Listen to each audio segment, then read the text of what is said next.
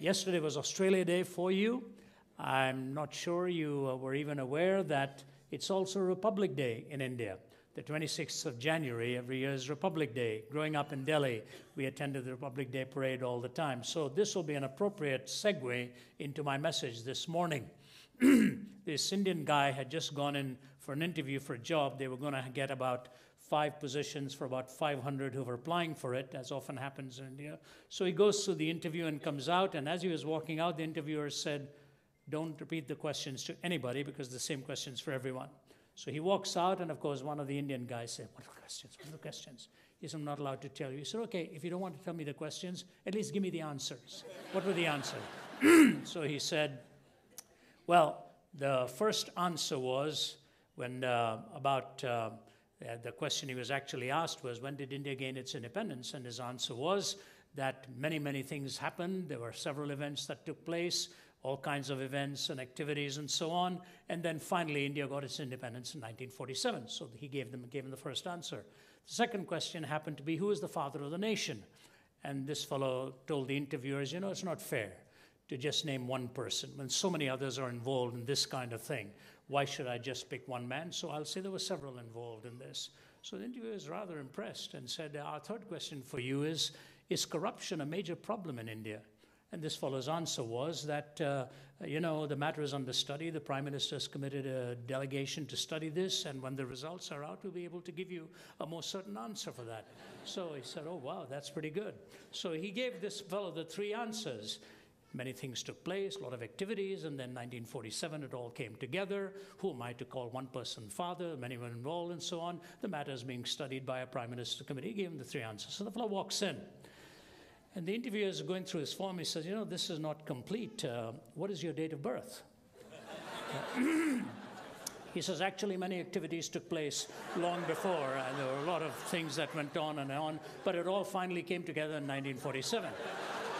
He said, uh, What is your father's name?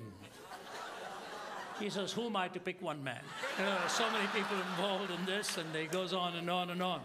So one of the interviewer says, Are you off your head? Are you crazy? He said, Well, the Prime Minister has appointed a committee to study the question, and I'll let you know afterwards. You know, in apologetics, oftentimes you can give a lot of answers and have nothing to do with the questions. The questions are totally from a completely different context. And that's why it is so important when even a question like this is raised, a simple question with profound implications why Jesus? Why Jesus? When there's such a plurality of worldviews out there, in the pantheon of Hinduism alone, there are 330 million gods and counting. That's in Hinduism alone. India has spawned most of the major religions in the world in the last 15, 1600 years. Uh, Hinduism, for example, uh, claiming adherence of about 80% of India and many converts in other parts of the world. Uh, Islam, if India and Pakistan had not separated, India would be the largest Muslim nation in the world. Now it happens to be Indonesia, but if India and Pakistan's numbers are joined together, it'd be the largest Islamic nation in the world. Uh, Buddhism was born, nurtured, and raised in India. Jainism, Sikhism. It's a country of great philosophical thought.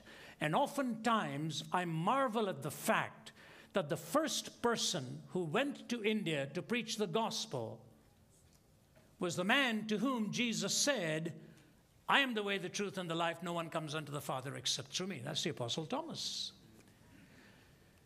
And when Thomas himself was not sure of all of this until he had met the risen Christ, it is Christ who looks at him and says to him, Take your hand and feel my side. He knew the side of his Lord had been thrusted by a spear. He was aware of that. And then he bent his knee, and in those profound words that come to us in the Greek, hokuriosmu, hotheosmu, my Lord and my God.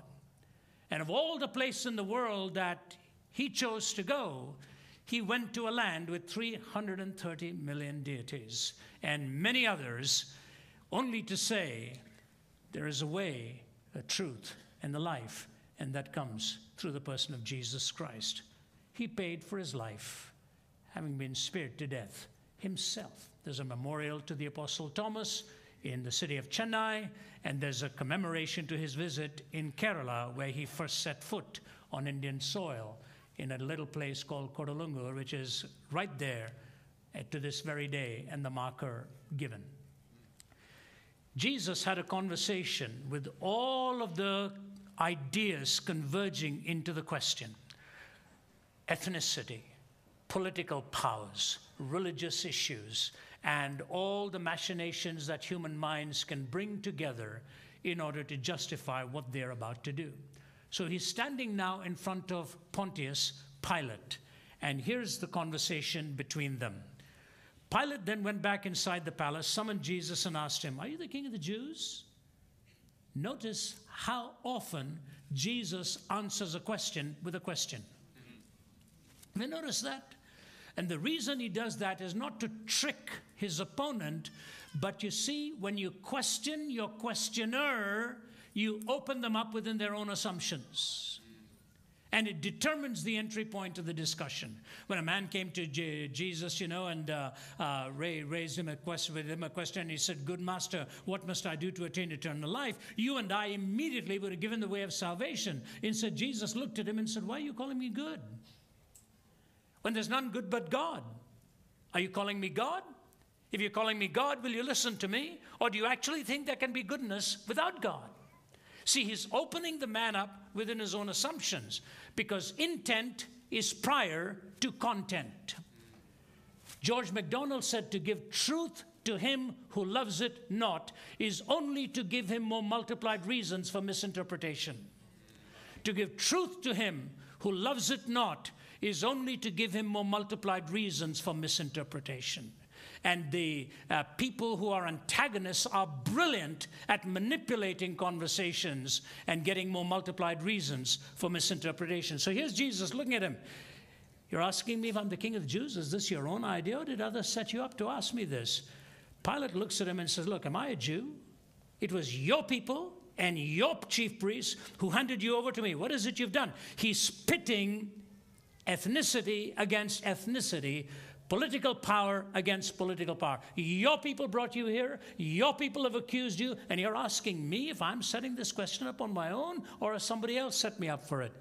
Jesus then gives him a profound answer. Jesus said, You know, my kingdom is not of this world. If it were, my servants would fight to prevent my arrest by the Jews. But now my kingdom is from another place. Ah, you are a king then, said Pilate. Now here's Jesus' comprehensive response. You are right in saying, I'm a king. In fact, for this reason I was born, and for this I came into the world, to testify to the truth. Everyone on the side of truth listens to me. Pilate raised the most important question in life, but did not wait for the answer. What is truth? said he, and turned and walked away. What irony that he's standing in front of one who is the incarnation of truth, the embodiment of truth. And if his intention were honorable, the least he would have done is waited to hear how exactly Jesus would answer the question. But he says, What is kind of a, you know, in a cavalier way, ah, what is truth? Turned round and walked away. You and I can do the same. You and I can do the same.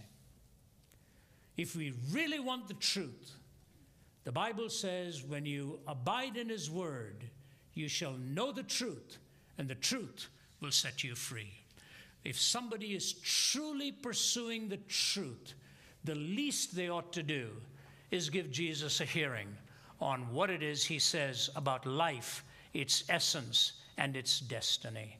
And if you have never done that before in your life, I urge you to give him a chance in asking your questions. Maybe by turning to the Gospel of John sometime, sitting down, asking your questions, and asking Him if He's really the way, the truth, and the life to speak to you indeed. You know, it is ironically in a conversation with Thomas in John chapter 14 that led to my own conversion to Jesus Christ.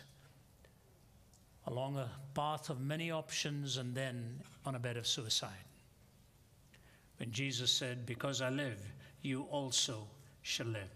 Now, why is Jesus the way, the truth, and the life? W.H. Lecky, the great French historian, in his book A History of European Morals from Augustus to Charlemagne II, said this, and Lecky was a skeptic. Here's what he says. The character of Jesus has not only been the highest pattern of virtue, but the strongest incentive in its practice, and has exerted so deep an influence that it may be truly said but the simple record of three short years of active life has done more to regenerate and to soften mankind than all the disquisitions of philosophers and all the exhortations of moralists. Quite a tribute by W.E.H. Lecky. In response to that comment, the famed New Testament scholar F.F. Bruce said this that is a non Christian or at least a not distinctly Christian judgment of one sense in which Jesus is not only a historical figure, but also our eternal contemporary. His influence lives on. Remarkable tribute by a historian, followed up by a great theologian. How his influence lives on when you think of him in those few short years that his teaching on values and ethics uh, exceeds all of those disquisitions and deliberations of thinkers and philosophers. I could come at this historically, I could come at this philosophically, I could come at this textually, argumentatively. I'm choosing a simple way, which I think is the most relevant way, existentially, in your experience. What is it about the answers of Jesus Christ? that puts it all together for you and me. And I'm sure at some point, if not at all points, you'll find a connection that his answers are rather profound and indisputable. The first is this his description of the human condition is most in keeping with the reality of your experience and mine. His description of the human condition. None of us rises above this. When the Bible says we've all sinned and come short of the glory of God, there is not merely a standard, but there is a purpose for which life was intended, and all of us fall short. You know, uh, I remember the year 2000 speaking for Billy Graham in Amsterdam and there were 10,000 evangelists from all over the world, over 100 language groups represented, and you're speaking through simultaneous interpreters, carrying it in all of the languages present out there. So you're staying to your text, and everyone is hearing it in their own language. And you may have heard this story, but it, the thing that amazed me is as soon as that story was concluded, across this vast RAI auditorium, everybody just roaring with laughter, they connected with the illustration. It's the story about these two brothers who are hooligans, rascals, scoundrels, made their money by all deviant means. And all of a sudden, one of them suddenly died. And so the surviving brother didn't know what to do, and he goes over to a local pastor and he says, You know, we've got to have a big funeral. Uh, we're going to have all kinds of dignitaries. My brother and I never went to church, but we'd like to have it in a church. If you don't mind, uh, we'd like to hold it in your church, and would you make your church available? The pastor said, Well, you guys never came here. He said, Look, uh, we'll, we'll pay you a handsome sum. Just let's use your auditorium. And the pastor said, All right. What do you want me to do? He said, Well, we want you to deliver the sermon. He said, But I didn't know your brother. He said, Say whatever you want to say, except just to include one line refer to my brother as a saint. and the pastor said, I, am not, I'm not going to do that. He said, Look, I'll pay you well. I'll pay you well. Just take care of it. Just one line. What is this? Just thing and it's uh, refer to my brother. So the pastor, looking through this guy, thought, "All right, I'll take care of this." He said, "We'll do it." And all the big guys in town were there, and the man is lying in the coffin. And the pastor begins his sermon. He said, The man you're seeing lying in the coffin here was a scoundrel. He was a hooligan, he was thug, a thug, he was duplicitous, he was de- de- devious, he did every dirty, rotten, stinking thing you can think of, but compared to his, compared to his brother, he was a saint.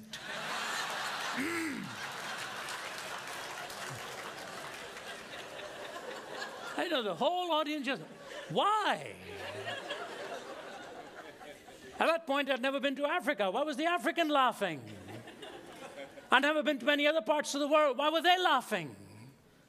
Because they all connected with the fact that deep inside, there's that scoundrel like nature in each one of us, and the story is replete with examples that if the price is right, we go for it.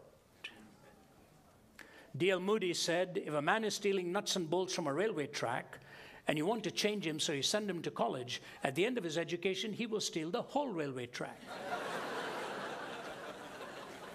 Some of the greatest scoundrels today are the most highly educated and most in the bastions of power. Some of the least are the ones with the fewer things in life and the simplicity of life, not to get them sophisticated in their duplicity. Have you ever taken a look at your own heart? Have you ever seen how accurate Jesus is about you and me? You know, I've been in this calling now for four decades. I'm in my 60s now. I've crisscrossed the globe. I've preached the gospel from the time I was in my mid 20s. And yet I'm ever surprised at the temptations that will still stalk, still haunt, and you still struggle, and you realize how vulnerable your heart is towards lust, greed, and pride. That's what the Bible says. All that is in the world is the lust of the flesh, the lust of the eyes, and the pride of life. One of my great heroes was the English journalist Malcolm Muggeridge. I, I think he happened to be the greatest English journalist of the 20th century. It's a toss up between him and G.K. Chesterton, both latecomers to Christ. But Malcolm Muggeridge taught journalism in India for many years. Yeah, I remember when I had lunch with him shortly before he died, he looked at me and he said, There are many things for which I'll have to ask God for forgiveness.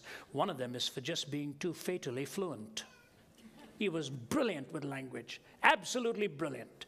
One time editor of Punch magazine. If you've never read any of his speeches or talks, you've missed one of the finest articulators who knew how to use a phrase and turn a phrase and find the most accurate word for a moment of description. There was Muggeridge. He was teaching journalism in India as a young man. Early one morning, he comes out of his room and he goes to the river to have a swim. And he is swimming out there, and way out in the distance, he sees an Indian woman. From the distance, he could see she was disrobing, getting into the river for her own bath. And Muggeridge had lived a very indulgent, passionate type life. He decided to swim towards her with everything within his heart saying, Don't do this, don't do this. And he says in his, in his book, The Green Stick Chronicle of Wasted Years, volume one of his uh, two volume autobiography, he said he was swimming and swimming. Something within his heart said, Don't, don't. But he said, I was just smothering that voice and kept going towards her. As I came within a few feet of her, he said, I knew that she would be terrified. She'd come alone at sunrise to have this swim of hers. He said, As I, my head emerged from the water, she was astounded to see this was a foreign man coming towards her. And she covered herself like this, just above the waist of the water. And Muggeridge said, I was stunned when I looked into her face to find out I was face to face with a leper. There were no fingers, the nostrils had all worn away, and he started to describe what she looked like. And then he ended with these words I was thinking to myself, what a lecherous woman. And then I paused and realized no, it was I who was living with a lecherous heart. You and I need to come to terms with this, sir. We need to come to terms with this. What are your thoughts and intents of the heart deep inside you? The nature of sin is so devious and so deceptive. Malcolm Muggeridge went on to say this the depravity of man is at the same time the most empirically verifiable fact, even as it is the most intellectually resisted. At the same time, it is the most empirically verifiable fact. You see it all around, it can easily be verified, but at the same time, it is the most intellectually resisted. We like to talk ourselves into believing that man is basically good. Oh, yeah, there may be many good things we do, but deep inside, look at the world today. Why is it in the catastrophic mess that it is, fiscally, morally, socially, academically, in every sense of the term? We talk about the fiscal cliff.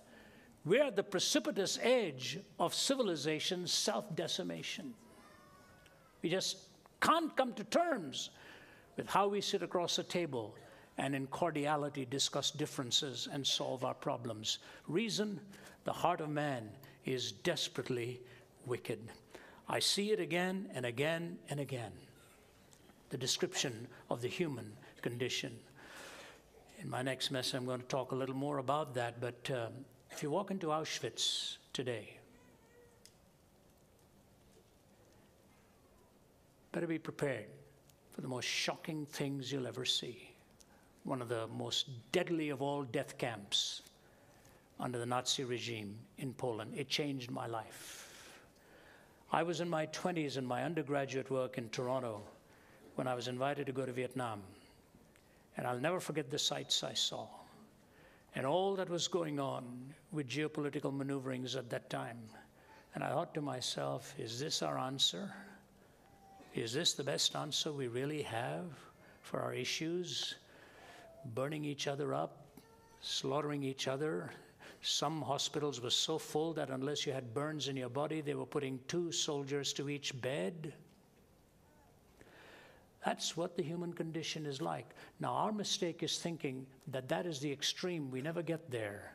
But the reality is, Jesus said, a sin in your life and sin in mine. I don't know if I have that quotation here. Yes, I do. Here it is. Hobart Mowrer, the great psychologist who was an atheist who committed suicide at the age of, um, I think he was in his uh, 70s or something when he committed suicide. Uh, he was uh, 75 years old, one time professor at Harvard, one time professor at Yale, president of the American Psychological Association. He wrote this article in the American Psychologist, and he said this he said he never received more hate mail than after he wrote this article, even though he was a skeptic himself. He said, For several decades, we psychologists have looked upon the whole matter of sin and moral accountability as a great incubus and acclaimed our liberation from sin as epoch making. See what he's saying? When we no longer were allowed to use the word sin, we considered it so liberating it was epoch making. But at length we have discovered that to be free from sin, to have the excuse of being sick, rather than being sinful, is to also court the danger of becoming lost. This danger is, I believe, betokened by the widespread interest in existentialism, which we are presently witnessing. In becoming amoral, ethically neutral, and free, we have cut the very roots of our being, lost our deepest sense of selfhood and identity. And with neurotics now themselves, we find ourselves asking, Who am I? What is my deepest destiny? What does living really mean? And then he ends with the Anna Russell psychiatric folk song. At three, I had a feeling of ambivalence towards my my brothers, and so it follows naturally I poisoned all my lovers. And now I'm happy I have learned the lesson this has taught that everything I do that's wrong is someone else's fault. When we thought we were liberated from it, we're sick, not really being sinful. Ah, it was a landmark in psychological theory. He said, What's happened as a result? We've lost the definition of who we really are. The Bible is very clear. Your heart, my heart, is desperately wicked. But what's the remedy for it? In the Judeo Christian faith, the only answer ever given that I think meets meaningfully is what Christ provided for you and for me in the cross. If you follow the Islamic faith and you ask a Muslim man, How do you attain paradise? He'll say, When you stand before Allah, your good deeds will have to outweigh your bad deeds. That's how you're going to make it. In fact, a few years ago, I was at Toowoomba at the University of South Queensland, and I was debating an atheist and an Islamic scholar. He said that right from the platform when I put him the question How do you attain paradise? Your good deeds will have to outweigh your bad deeds. You ask anybody from the pantheistic worldview, Hinduism, Buddhism, Jainism, and so on, every birth is a rebirth, every life pays for the previous life. When you finally attain that karmic victory of attaining perfection and paying for everyone, uh, every previous birth, then you attain nirvana or moksha, whatever it is. In other words, you're paying all the way through. You incur a debt with each birth, and you pay for that debt with each rebirth. Look at the story of the prodigal son. This boy goes to his father and is basically telling him, I'm going to treat you as though you're already dead. I want my inheritance now. I don't want to wait till you die. And the father gives him his inheritance, and the boy takes off, squanders it, plunders his own life, finds himself in literally a pigsty out there. And he says, You know, my father's servants are living better than I am. I wonder what he thought. I'd love to go back. I wonder what my dad will do with me. I'll tell you what my dad would have done with me. it's true. My dad was from Kerala, he spoke Malayalam. My mother was from Chennai, she spoke Tamil. I was raised in Delhi, so I was raised speaking Hindi. I speak Hindi and I speak Tamil. Very comfortable in Hindi, quite comfortable understanding Tamil. The only words I know in Malayalam are words of scolding, what my dad gave me. And I, I won't repeat them for you. You see, in the culture of India, the father as a patriarch held quite supreme. Many parts of India today, you will still see when the sons or daughters or daughters-in-law walk in the room, they touch the feet of the dad first thing. It's a culture that's gone that way for, for centuries. This boy's taken his dad's money, blown it, and he's going to come back. Would you have ever imagined in an Eastern narrative that the father rushes out of the home to meet him halfway? Totally catching the whole narrative and the listeners off guard. And he comes and wraps his arms around him and said, This my son was dead, is alive, is lost, and is now found. Put on the robe, put on the sandals, put on the ring, let's celebrate. You see, the older brother couldn't handle that because grace misunderstood will always lead to jealousy. And the marvelous thing about the Christian worldview is you can never earn the right to really be embraced by God. It is His gift to you, it is the provision on the cross. And so you're waiting till you're all right and all cleaned up. You're coming the wrong way. You come as dirty as you are. He's the only one who can clean you up. You know, I was, uh, I was telling the folks at uh, Perth yesterday, not at Perth, at uh, Adelaide yesterday the time I was in Jerusalem, part of a small delegation with the Archbishop of Canterbury, the former Archbishop George Carey. He'd taken the five of us to discuss um, mediation approaches with the Jewish leaders, Palestinian leaders, especially the religious leaders. And on the last day, we are with one of the four founders of Hamas. His name was Sheikh Talal. Sheikh Talal's a pretty solidly built guy. Spent 18 years in prison, lost several of his children in suicide bombings.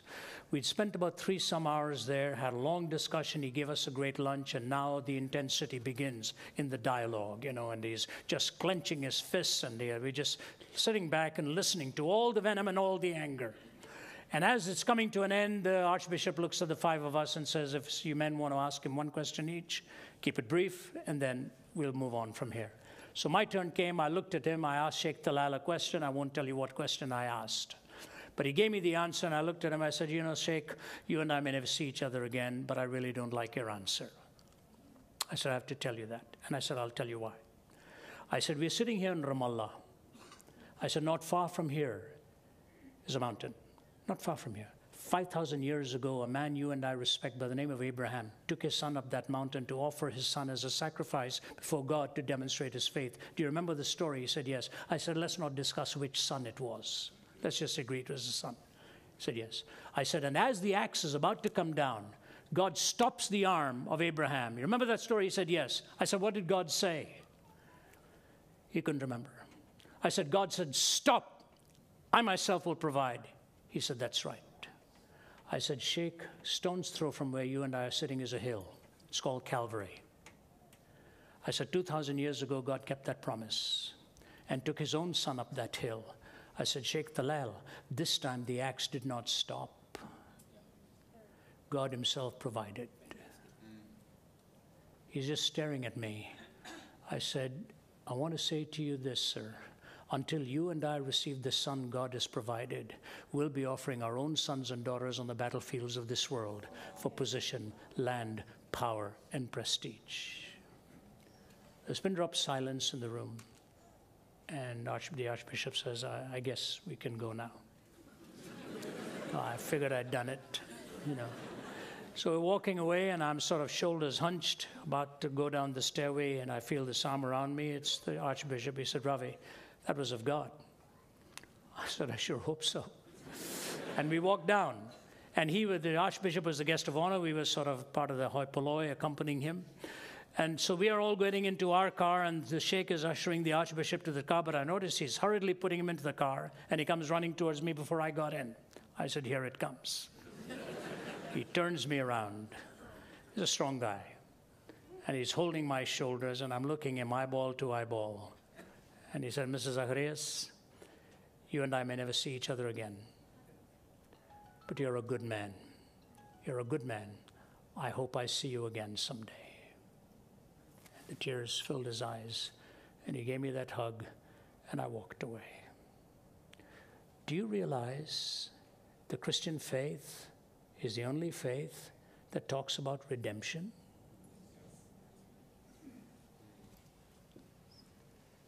Not just forgiveness, redemption.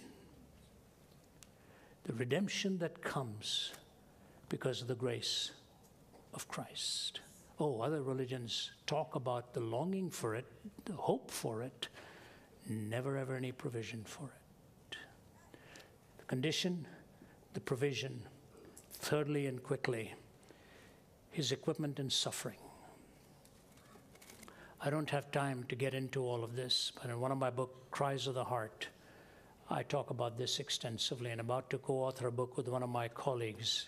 If there is a God, why is there suffering?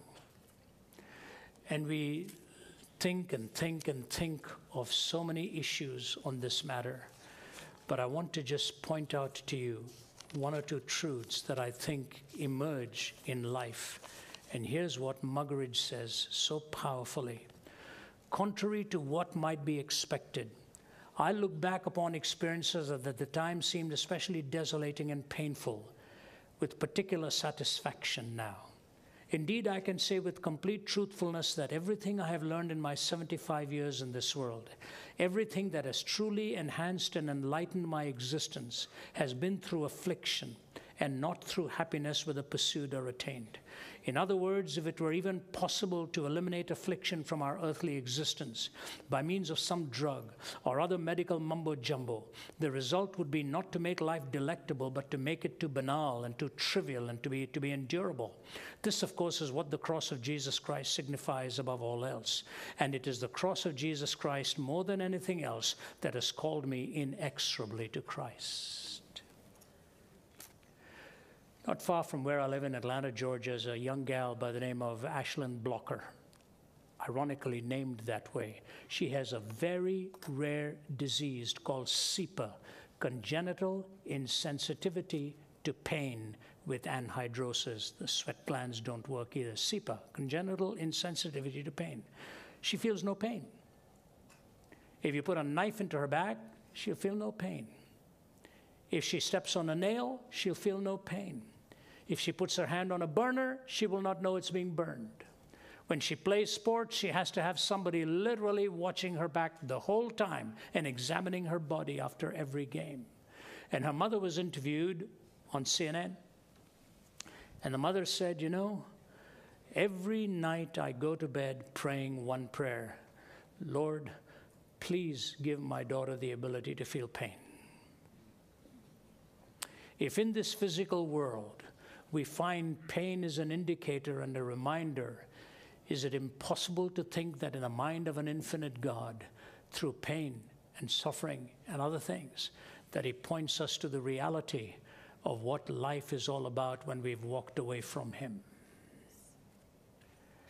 That's all the narrative and the story. But I want to say to you this that to raise the question of evil assumes a moral law. So you can't raise the question of evil in order to disprove the existence of God. You have to resolve it within itself. And I will just tell you the succor, the sustenance, the peace, the provision that Jesus gives is a remarkable story of a relationship in which He carries you through that pain and suffering. I injured my back in 1985 in a very bad way. And for these 27 years, the last year has been one of my best. That's another story in itself. But after two major, two major surgeries, and as an itinerant, your back is so vulnerable because of travel and all the contortions it goes through. And I found in these decades that my dependence on the Lord every day only increased more and more and more every day to know that this very voice, which is vulnerable, and this very back, which is vulnerable, is all in His hands. And if anybody think we are so sovereign over ourselves that we can do whatever we want, I got news for you. It is only as God sustains you And as God carries you, leaning on Him, I think one of the gospel songs there said, It's a new morning, it's a new dawn. And you start that new day to sing the song all over again upon your dependence. His description of the condition, His provision for the malady, His sustenance and support in suffering, pain. But I want to lead you very quickly to the two or three closing thoughts here. His embodiment of the ideal the purity with which we see him living. You see, for the Hebrews, the ideal was in light. The Lord is my light and my salvation. This is the light that lights everyone that comes into the world. For the Romans, it was glory, the glory of the Roman Empire. For the Greeks, it was knowledge, episteme, truth, understanding. So for the Greeks, it was knowledge. For the Romans, it was glory. For the Hebrews, it was light.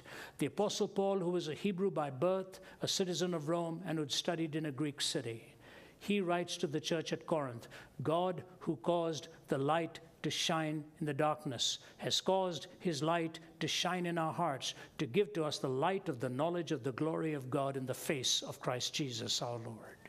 He took all the abstractions and put the face to it in the face of Christ, you see all that is pure and all that is impeccable. Point to me another claimer to prophetic and divine status who would lay that kind of a claim before you. The purity of Christ.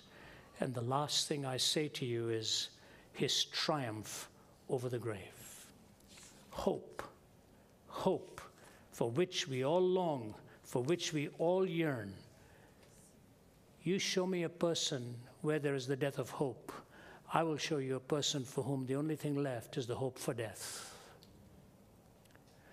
Hope is what keeps you and me going. Why did I end up on a bed of suicide? I had no hope.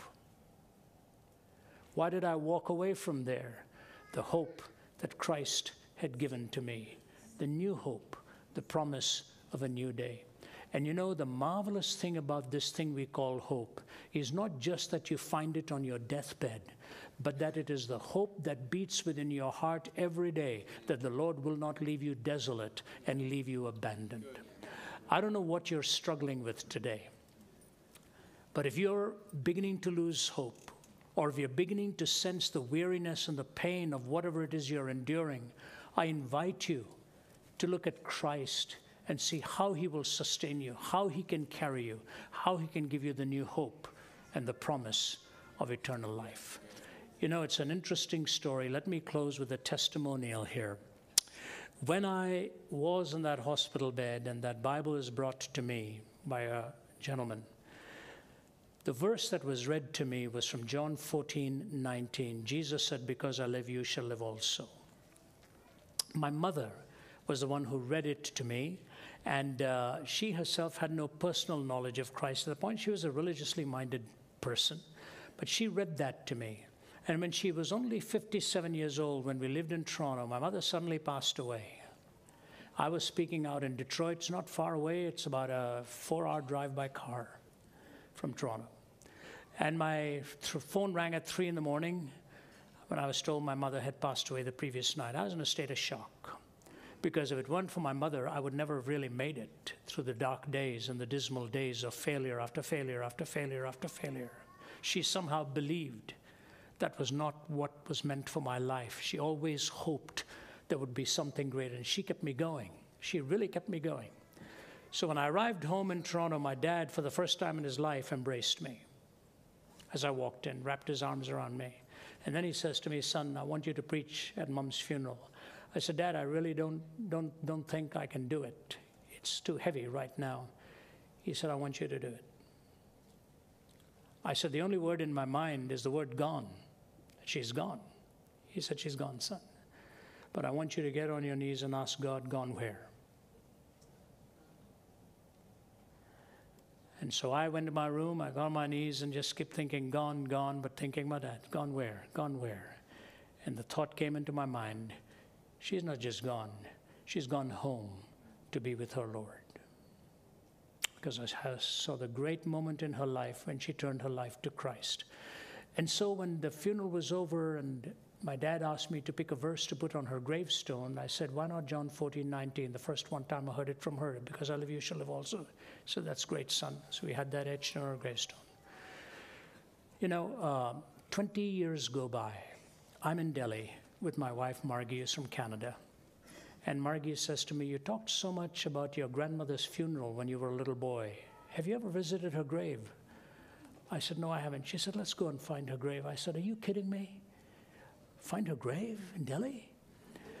And so I said, You know, there's only one cemetery, Christian cemetery in Delhi at that time. There's only one. So I decided to go over, take a taxi and go over there. It's on Prithviraj Road in Delhi, near the Claridge's Hotel. I remember that. So I saw a guy there. You know, in India, the half slumber position for bureaucrats is constant. And so he's sitting there like this. And uh, one Indian cartoonist had a bureaucrat in that pose, sound asleep with files stacked up on the desk saying, Matter is under active consideration. yeah, anyway, the story is too long. I persuaded him to pull out a register, persuaded him to keep going from the 1950s and so on, even though I couldn't have been that early. Founded in 1955. I was a little lad, saw her name on there. So they found the plot number. I get the gardener, and he's digging up, it's all buried now. And with a shovel and a can of water, he's digging. All of a sudden, the stone is revealed. And the names are getting uncovered there. Agnes D. Manikam, born such and such, died such and such. And as the mud is poured away, my wife grabs my arm and she said, Look at what it says. John 14, 19. And Jesus said, Because I live, you also shall live. Suddenly, like a thread, it come wrapping around. Uh, one verse. Jesus said, Because he lives, you also shall live. The hope beyond the grave. In Vietnam, a US Marine handed me this. Lord God, I've never spoken to you, but now I want to say, How do you do? You see, God, they told me you didn't exist, and like a fool, I believed all this. Last night from a shell hole, I saw your sky. I figured right then they had told me a lie. Had I taken time to see the things you made, I'd have known they weren't calling a spade a spade. I wonder, God, if you'll take my hand, somehow I feel that you'll understand. Funny, I had to come to this hellish place before I had time to see your face. I guess there isn't much more to say, but I'm sure glad, God, I met you today. I guess zero hour will soon be here, but I'm not afraid since I know you're near. The signal, well, God, I'll have to go. I like you lots. I want you to know. Look, now this will be a horrible fight. Who knows, I may come to your house tonight. Though I wasn't friendly to you before, I wonder, God, if you'd wait at your door. Look, I'm crying, I'm shedding tears. I'll have to go now, God, goodbye. Strange now since I met you. I'm not afraid to die. The resurrection from the dead. That's Christ's hope. And so I bring to you the description of your condition, the provision for your malady, the sustenance to your troubles and hurts, the purity of his life, and the resurrection from the dead. There's a lot more. In fact, if you pick up the book Jesus Among Other Gods, it's really a completely different approach to the same thing, doesn't deal with these issues.